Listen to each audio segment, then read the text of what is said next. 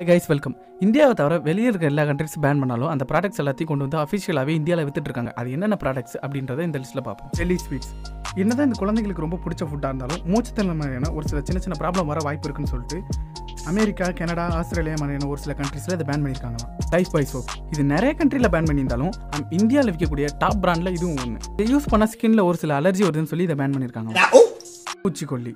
இதில் அறுபதுக்கு மேலே டேஞ்சர்ஸான கெமிக்கல் கலந்துருக்கனால ஃபாரின் பிராண்ட்லாம் நிறைய இடத்துல பேன் பண்ணியிருக்காங்க அதை. இது ரொம்ப பாப்புலரான ட்ரிங்க் ஆனால் டென்மார்க் பிரான்சிஸ் லிதுவேனியா அப்படின்ற ஒரு சில கண்ட்ரீஸில் பதினெட்டு வயசு கீழே இருக்கவங்க யாரும் ஃபுட்பால் குடிக்கிறதுக்கு அனுமதி கிடையாதான். இதை குடிச்சா ப்ரெஷர் அண்ட் ஸ்ட்ரெஸ் உண்டாகுது அப்படின்னு சொல்லிட்டு பதினெட்டு வயசுக்கு கீழே இருக்க யாரும் குடிக்கக்கூடாதுன்னு பேன் பண்ணியிருக்காங்க. டிஸ்பிரின் இது ஒரு வகையான டேப்லெட் இந்த கம்பெனி மெடிக்கல் சர்டிஃபிகேட் ப்ரூவ் பண்ணாதனால அமெரிக்கா அப்புறம் ஐரோப்பிய மாதிரியான கண்ட்ரீஸ்லாம் இதை பேன் பண்ணியிருக்காங்களாம். மில்க் நார்மல் மில்க் இல்லை பதப்படுத்தப்பட்ட பால்.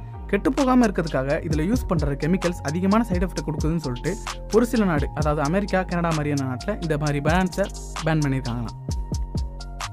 நிமிலுட். இது ஒரு வகையான பெயின் கில்லிங் டேப்லெட் இது ஹியூமன்ஸோட லிவரை ரொம்ப பயங்கரமாக டேமேஜ் பண்ணுறதுனால இது அமெரிக்கா ஆஸ்திரேலியா கனடா பிரிட்டன் அந்த மாதிரி கண்ட்ரிஸ்லாம் அஃபிஷியலாகவே பேன் பண்ணியிருக்காங்களாம்.